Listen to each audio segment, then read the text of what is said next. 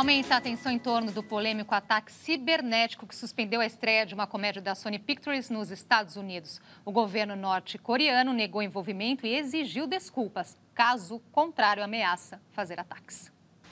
O Comitê de Defesa norte-coreano foi curto e grosso. Disse que tomaria ações contra a Casa Branca, Pentágono e todo o território americano se os Estados Unidos não parassem de acusar o país de ataque cibernético e pedissem desculpas.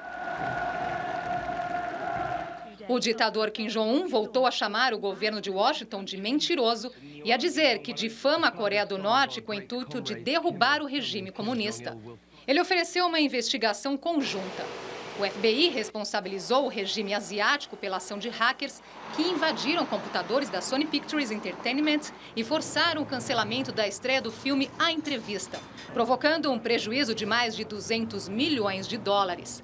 Em resposta ao boicote cibernético, a Sony prometeu divulgar no YouTube a comédia que mostra dois jornalistas americanos tentando assassinar o jovem ditador. Os vírus usados para roubar dados, destruir documentos, são os mesmos que no ano passado atingiram vários sistemas na Ásia. Um rastreamento revelou que o ataque partiu da Coreia do Norte. O presidente Barack Obama declarou que considera colocar o país asiático de volta na lista de nações que patrocinam o terrorismo. A medida representa novas restrições à Coreia do Norte. Entre elas, limitações de ajuda externa, proibição e controle das exportações e impedimentos financeiros.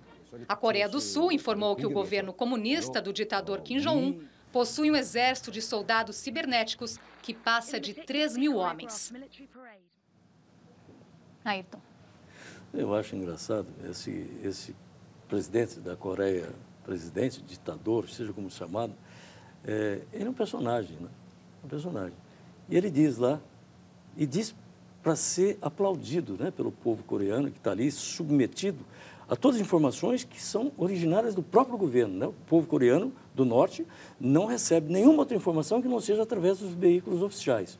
Então ele está doutrinado para destilar contra os Estados Unidos o ódio permanente. Então, quando o presidente vai lá e diz que vai atacar os Estados Unidos, quer dizer, que é uma, que é uma pilhéria, né? uma coisa engraçada de, de imaginar que a gente pode dizer isso, vou atacar os Estados Unidos, né? não tem poder de fogo para isso, embora tenha bomba atômica. Né? É, eu acho que isso vai na galhofa internacional. É isso, é isso. Sim, é a mesma coisa, concordo. Agora, só voltando um pouquinho, que tem muita gente falando da da declaração do Papa, dizendo que o Vaticano sofre do Alzheimer espiritual, o pessoal está dando nomes aqui, trazendo essa história para o Brasil. Né? Então, o Bob diz que o Brasil sofre de Alzheimer de caráter e o Gabriel diz que o problema é o mal do jeitinho brasileiro. É, pode ser também. Agora, no caso do Papa, é complicado. Ele, ele dirige uma instituição de dois mil anos. Não é nada fácil dirigir uma instituição de dois mil anos. E ele Vila, derrubou agora um cardeal americano, que não me lembro o nome, que era dos mais poderosos entre os conservadores.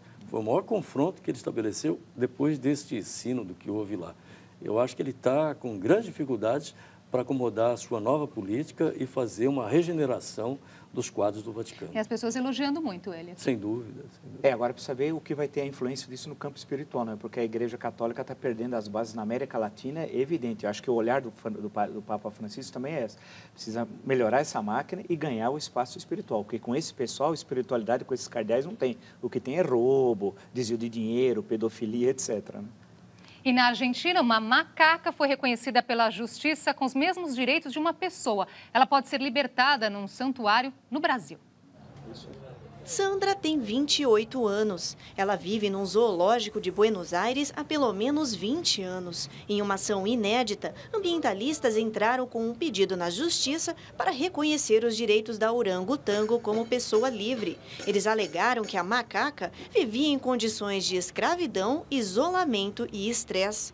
A Corte Argentina acatou o pedido, reconheceu o grau de raciocínio, características emocionais e concedeu à primata um habeas corpus, um direito jurídico que assegura que qualquer um preso ilegalmente seja libertado. A partir de agora, especialistas estudam soltar a macaca em um santuário brasileiro, onde poderá conviver com outros animais da mesma espécie.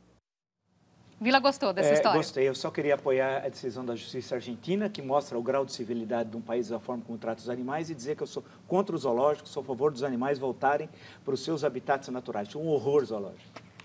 Obrigada aos dois pela participação Obrigado. hoje. Ótimo Natal para vocês. Você também, Tudo bom. todos os ouvintes, os nossos telespectadores. E a gente termina com uma homenagem ao cantor Joey Cocker, que morreu hoje aos 70 anos. Ele sofria de câncer no pulmão. Com sua voz enérgica e marcante, Cocker ficou popular no fim dos anos 60, principalmente por causa da versão de uma música dos Beatles que está na trilha da série Anos Incríveis, exibida aqui na TV Cultura. E é com esse sucesso que a gente se despede hoje. E não perca amanhã ao meio-dia, Jornal da Cultura, primeira edição, e acompanhe também as notícias em nosso site, cmais.com.br jornalismo. Uma ótima noite para você. On